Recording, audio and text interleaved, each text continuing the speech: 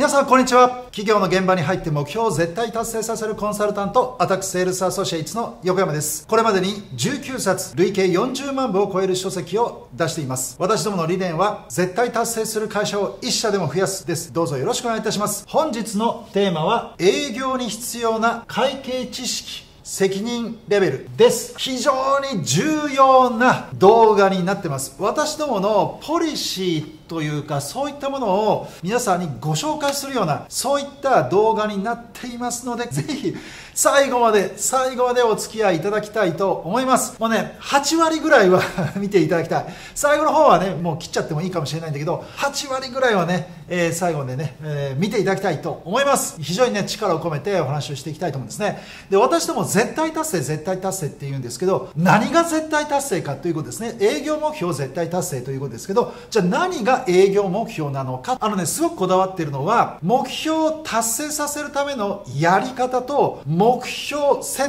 定のあり方なんですね。あり方とやり方なんです。ですから、えっと、やり方だけねみんな知りたいっていう人っていますよね。で営業のコンサルタントとか営業の研修講師とか営業支援するような IT 企業とかっていうのは大体そうなんですよ。どうやったら目標達成するかどうやったら営業成績を上げるか売上アップするか利益アップするかっていうやり方なんですけど私どもはアタックスアカウンティングのタックスですから会計と税務の会社なんですね。日本全国いろんなその大型の会計士事務所とか税理士法人とかね、えーと、監査法人とかあるわけなんですけど営業のコンサルティング会社を持っているそういったところっていうのはほとんどないんですよ。ほとんどない。ですから当社は非常に珍しい会社なんです。で会計センスで絶対達成しに行くっていうことは当然その目標が正しいかどうかを見に行くということですよ。だから会計的に見に行くということです。ですからわけのわからないような目標を設定するっていうのは非常にまずいということなんですね。で理念というのはミッションビジョンバリューである。でそこから逆算して中期経営計画みたいなものがあるわけですね。で単年度の予算計画っていうのはその経営計画から逆算して出てきているものっていうことです。しかしながらそれを達成させる上でいろんな設備投資とかねいろんな投資をしていくと思うんですよ。でもその投資をあまりにもしすぎてしまうと目標が上がっていくわけですね。売上目標だけを見ているっていうんであれば当然売上目標はね固定かもしれないんですけど私どもは会計的に見るので最低限の利益というものは見ていきます。売上そして売上総利益そして営業利益経常利益っていう風になっていくじゃないですか。で何を見ますかっていうことが非常に重要だということなんですね。えっとぜひですね社長から部長課長そして担当者レベルまで何を知っていかなくちゃいけないかそして何に責任を持たなくちゃいけないのかっていうことを皆さんと一緒に考えていきたいと思います。ぜひねこの動画本当に最後まで見ていただきたいし社長はもちろんのことを担当者の人もしっかりと見ていただきたいと思います。でこれは一般的に言われていることなので私の意見ではありません。私の意見は赤文字で書かれているところだけなのでここはねさらっといきます。まず社長とか役員はどれぐらいの知識を持っていなくちゃいけないかっていうと財務産業だっていうことですね。ですので損益計算書と貸借対照表とキャッシュフロー計算書です。この3つが財務産業です。これをちゃんと理解してくださいということです。ですから当然知識も持っていることは当たり前なんですけど我が社はどのような状態になっているのかってちゃんと説明できますかということですね。当社の損益計算書そして貸借対照表そしてキャッシュフロー計算書。どのような財務的な問題があるのか。どのようなこう資金調達において問題を抱えているのか。それは経営者そして役員みんなある程度知っておかないといけません。理解しないといけない。で自分たちで分析できなくても全然いいわけですよね。私どもは、えー、税理士とか会計士とかいるわけですのでまあ私どものような方がねいらっしゃると思うんですよ。税理士さんとか。でもし、えー、ちょっとうちのね税理士さんがちょっとあんまり説明が上手じゃなくてとか、えー、セカンドオピニオンがちょっと聞きたいっていうんであればぜひねアタックスをご用命いただけると嬉しいなと思います。セカンドオピニオン的にねアタックスを利用していただければいいんじゃないかなと思います。うちはこのような財務状況になってるんですけども何かアドバイスありませんかって言われたら当然当社ね専門家を派遣することができます。ですがここはもう最低限知っておきましょうということです。で部長課長って言いますね。これは営業にと書きましたけども営業限定ではありません。これは一般的な話なのでえ総務部長でもそうです。生産技術部の部長でもそうです。人事部の課長でも一緒。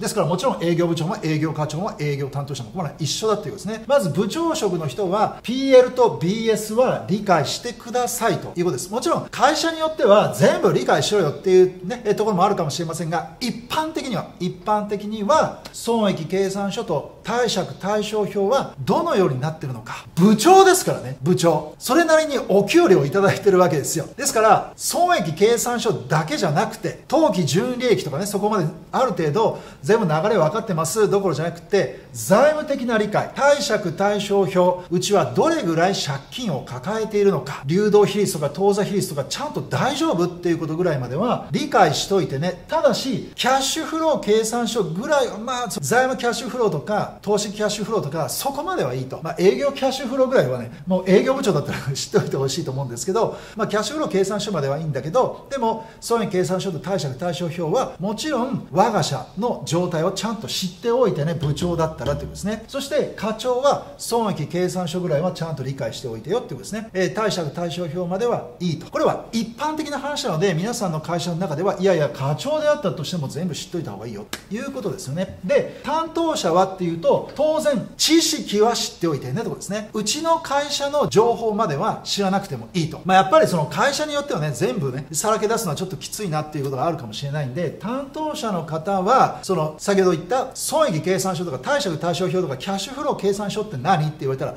さすがにそれは知ってると。それは関係がないじゃないですか。上に行けば上に行くほど理解するとかそういう話じゃないんで知識的なことっていうのは本読めば誰だって分かるわけですね。学生だって分かるわけですよ。ですからそれぐらいの知識はちゃんと身につけてねということです。で上司から説明を受けたら把握できるようにしておいてねというのが一般的な話。いいですね。ですから社長から今キャッシュフローっていうのはこうなってますとかね。貸借対照表はこうなってますと。うちの自己資本比率はこうなってます。安全性生産性収益性とかね。そういった指標があるんだけどこれはこういう状態になってんだよねって言われたらうんまあなんとなくわかるかっていう感じにはしておいてねということです。ここら辺はちゃんとデータを見て把握できるようになっていかなきゃいけないってことですよ。部長だもんだって。課長だもん。それはそうでしょ？ということですね。じゃあ営業はどうかっていうことですけど営業ももちろんそうなんだけど営業特有の責任っていうのがありますね。だから営業目標絶対達成って言った時にその目標って何か。これねまずいのは売上っていうところはね未だに多いんですよ。未だに営業部長とか営業課長と話をしていると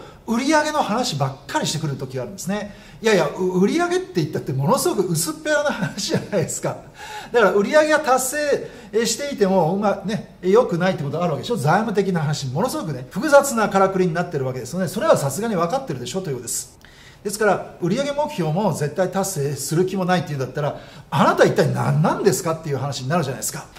なぜならここを見てください。ここは責任なんですけど経営者社長とか役員は財務産票全てにおいて責任を持っているのは絶対です。当たり前ですね。社長なんかは無限責任なんで、まあ、知ってようが知ってまいがそんな自分の勝手ですと全く言えないわけですよ。トップは。だから財務産票における全責任は上の人は必ず持ってるわけですよ。じゃあ営業部長とか営業課長っていうのはどこに責任持ちますかという話になりますね、まあ、基本的にね、まあ、もしよろしければ財務産票全部に責任を持ってもらいたいんだけどでもまあそれは社長とか役員が担うことなんでじゃあどうするってことですよ。ですからここで言うと損益計算書と貸借対照表の中身においてある程度 KGI を決めてでこの責任は部長だから持ってもらおうかっていうのは理にかなってますよね。部長なんだもん。だけどキャッシュフロー計算書まではいいやっていうのはあるかもしれない。だけど私はですねいろんな会社の営業部長と話をしていてもほとんど分かって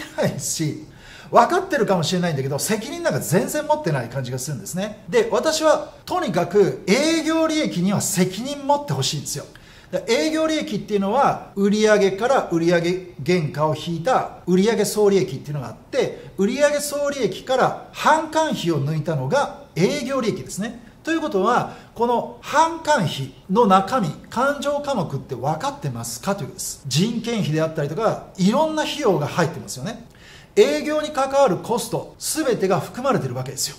そういったことも全然分からずに人を増やしたいとか情報システムを導入したいとかね。いろんなところ出張したい。出張のためにわざわざね、えー、と海外まで行きたいとか。日本中飛び回ったり。今新型コロナウイルス感染症の影響によってなかなかね出張できないかもしれないんだけどそういったものをちゃんと考えた上で経費とか使ってますかっていうのがありますよね。値引きを促進したりキャンペーンをしたりっていうのはやればやるほど営業利益は悪化していくっていうのは分かるじゃないですか。ですから営業利益を上げるためにはコストを使わずに頭を使うっていうことがものすごく重要なんですよ。そのレベルってちゃんとあるってことですね営業部長は。損益計算書の営業利益って本当に上の方だけですよ。それに対しても責任持たないっていうんであればこの差が激しすぎますよね。社長の負担があまりにも大きすぎるんですよ。どれぐらい責任持つっていうことは必ず会社の中で方針を決めていただきたいと思います、まあ、担当者はね、まあ、売上責任ぐらいは持っていただきたいなと思うんですけど課長、まず課長は営業利益。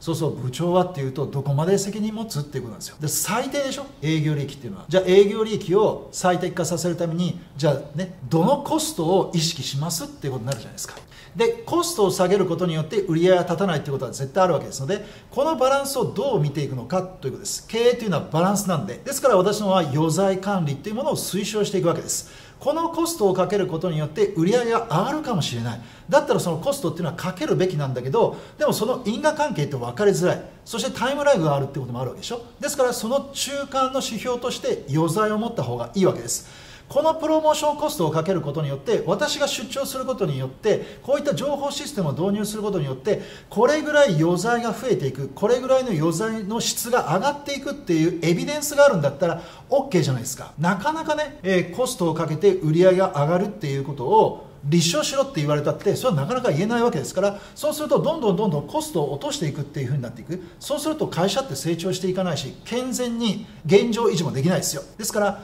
ここのバランスをどういうふうに持っていくのかってそれぐらい分からないと課長職もつかないじゃないですか。つけないですよね。部長はもうちょっとね責任の権限をね上げていただきたいわけなんですけど。ですから会計的にどのような知識を持っておくべきなのかどのような情報を料理できるのかそして理解できるのか人に説明できるのかっていうことも当然なんですけどどこに責任持ってますかということです。トップは全てなんですよ。絶対に。他に責任誰も持たないから。じゃあ部長であるあなたは損益計算書と貸借対照表とキャッシュフロー計算書がある中での損益計算書のこの営業利益のこのここだけしか持ちませんかってことですね責任を。それさえも全然理解してないっていうんだったらさすがに部長としての役割って果たしてるとは言えないですよね。ここは必ず押さえておいていただきたいなというふうに思います。この辺りの営業が絶対知っておくべき会計的なね思考っていうのはこれから教材としてしっかり出していきたいと私は考えています。なといってもね私どもの特徴っていうのはアタックスの一員であるということですね。アカウンティングとタックス会計と税務の会社なんで営業利益を絶対達成できるようなそういった会社にしていきましょう。本業の儲けですからね。これがしっかり分かっていくことによって事業計画とか売上目標とかそういったものの在り方が本当に正しいのか本当に会社の理念実現とか現状に合ってるのかそういうものがね正しく理解できるようになってきます。正しく理解できるようになっていけば当然のことながら意欲的になるに決まってるわけですね。何のためにこの数字をやんなきゃいけないのかとか目的が分かんないと。でもなんか社長がやれって言うから会社がねあの絶対やれって言うからやりますっていうんであれば、まあ、正直言ってやる気にならないじゃないですか。だからこれっていうのはスポーツの中でルールを知るということなんですよ。会計というのは税務とか会計っていうのはビジネスをする上でのルールなんですよ。ですから野球をやる上で野球のルール全然知らないのにプレーしてるようなものでしょ？よく分かりませんって言いながらも監督がここで、まあ、バットを振れって言われたからバットを振ってるだけですと。このボールを投げろって言われてるからボール投げただけですって言うんだったら何にも面白くないじゃないですか。そうでしょ？ですからビジネスをやってる以上は税務とか会計の知識っていうのは知っておかないと。ビジネス上のルールなんで意欲をアップしないってことは必ず知っておいてください。